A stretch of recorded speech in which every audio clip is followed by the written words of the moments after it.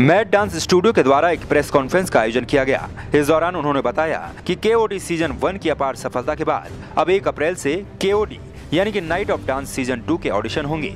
ये जानकारी आयोजक मनोज गुसाई ने दी।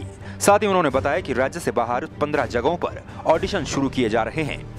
ये एक डांस कंपटीशन को लेके हो रही है, जो हम बहुत अच्छे लेवल पे डांस कंपटीशन कराने जा रहे हैं और उसके ऑडिशन हम पंद्रह सिटीज़ में कराने वाले हैं और जिसका फिनाले हम देहरादून में करवाने वाले हैं। ताकि आउटर सिटी से जो बच्चे आए वो अपना टैलेंट और हमारा टैलेंट हमारे देहरादून का टैलेंट हम देहरादून में दिखा सकें। और देहरादून के बच्चों को हम आगे अच्छे लेवल पे हम पहुँचा सकें वहीं Knight of dance season one प्रतियोगिता में भाग लेने वाले प्रतिभागी आज देश और दुनिया में अपनी पहचान बना चुके हैं।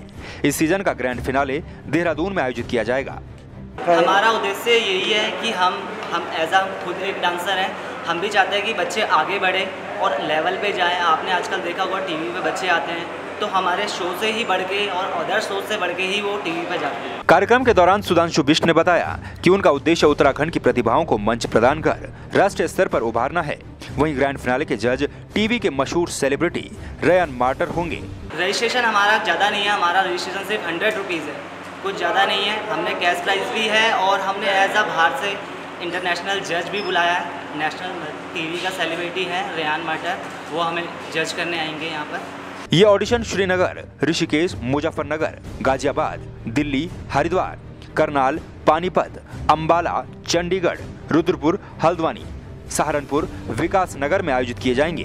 पहले हम जो है एक जनरल डांस कंपटीशन जो कि करवाने जा रहे हैं केओडी सीज़न टू इसके थ्रू जो है हम उसमें से डांस प्रतिभाओं को निकालेंगे जो कि आगे भी पंद्रह जो आ, जगहों पर जो है इसके ऑडिशन होने जा रहे हैं, जो कि उत्तर प्रदेश भी इसमें शामिल है, इसमें चंडीगढ़ शामिल है, इसमें हरियाणा भी शामिल है, कि कुछ ज़िले शामिल हैं।